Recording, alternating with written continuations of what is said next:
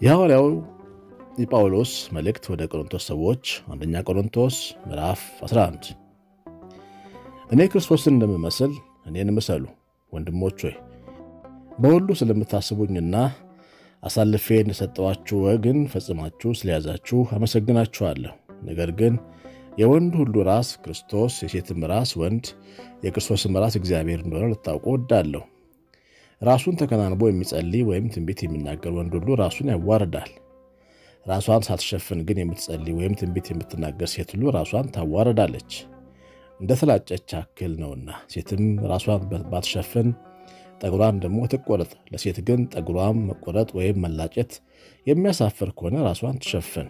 ወንድ የእግዚአብሔር ምሳሌና ክብር ስለሆነ ራሱን መከናነብ አይገባውም። ሴት ግን የወንድ ክብር ናት። ሴት ከወንድ ናት እንጂ ወንድ ከሴት አይደለምና። ሴት ስለ ወንድ ተፈጠረች እንጂ ወንድ ስለ ሴት አልተፈጠረምና። ስለዚህ ሴት ከመላእክት የተነሳ በራሷ ሥልጣን ሊኖራት ይገባል።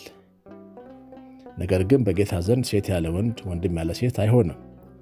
ሴት ከወንድ እንደሆነች እንዲሁ ወንድ ደግሞ ከሴት ነውና፣ ሁሉም እግዚአብሔር ነው። በእናንተ በራሳችሁ መካከል ፍረዱ። ሴት ራሷን ሳትሸፍን ወደ እግዚአብሔር ልትጸልይ ይገባታልን? ወንድ ጠጉሩን ቢያስረዝም ነውር እንዲሆንበት፣ ሴት ግን ጠጉሯን ብታስረዝም ክብር እንዲሆንላት ተፈጥሮ እንኳን አያስተምራችሁምን? ጠጉሯ መጎናጸፊያዋ ሊሆን ተሰጥቷታልና። ዳሩ ግን ማንም ሊከራከር ቢፈቅድ እኛ ወይም እግዚአብሔር አብያተ ክርስቲያናት እንዲህ ያለ ልማድ የለንም።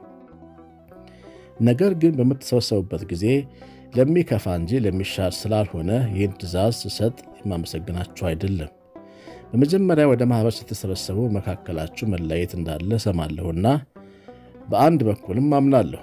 በእናንተ ዘንድ የተፈተኑት እንዲገለጡ በመካከላችሁ ወገኖች ደግሞ ሊሆኑ ግድ ነውና። እንግዲህ አብራችሁ ስትሰበሰቡ የምትበሉት የጌታ ራት አይደለም። በመብላት ጊዜ እያንዳንዱ የራሱን ራት ይበላልና አንዱም ይረባል፣ አንዱ ግን ይሰክራል። የምትበሉባቸውና የምትጠጡባቸው ቤቶች የላችሁምን? ወይስ የእግዚአብሔርን ማኅበር ትንቃላችሁን? አንዳች የሌላቸውን ታሳፍራላችሁን? ምን ልበላችሁ? በዚህስ ነገር ላመስግናችሁ? አላመሰግናችሁም።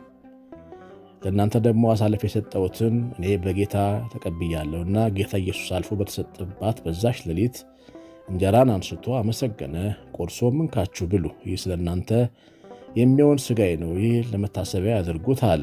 እንዲሁም ከራት በኋላ ጽዋውን ደግሞ አንስቶ ይህ ጽዋ በደሜ የሚሆን አዲስ ኪዳን ነው፣ በጠጣችሁም ጊዜ ሁሉ ይህን ለመታሰቢያ ያድርጉት አለ። ይህን እንጀራ በበላችሁ ጊዜ፣ ይህን ሁሉ ጽዋ በጠጣችሁ ጊዜ ሁሉ ጌታ እስኪመጣ ድረስ ሞቱን ትናገራላችሁና።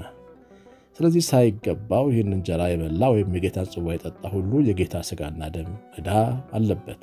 ሰው ግን ራሱን ይፈትን፣ እንዲሁም ከእንጀራው ይብላ ከጽዋው የሚጠጣ ሳይገባው የሚበላና የሚጠጣ የጌታን ሥጋ ስለማይለይ ለራሱ ፍርድን ይበላልና ይጠጣልምና።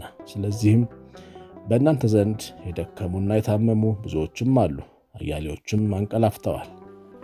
ራሳችንን ብንመረምር ግን ባልተፈረደብን ነበር። ነገር ግን በተፈረደብን ጊዜ ከዓለም ጋር እንዳንኮነን በጌታ እንገሰጻለን። ስለዚህ ወንድሞች ሆይ ለመብላት በተሰበሰባችሁ ጊዜ እርስ በርሳችሁ ተጠባበቁ።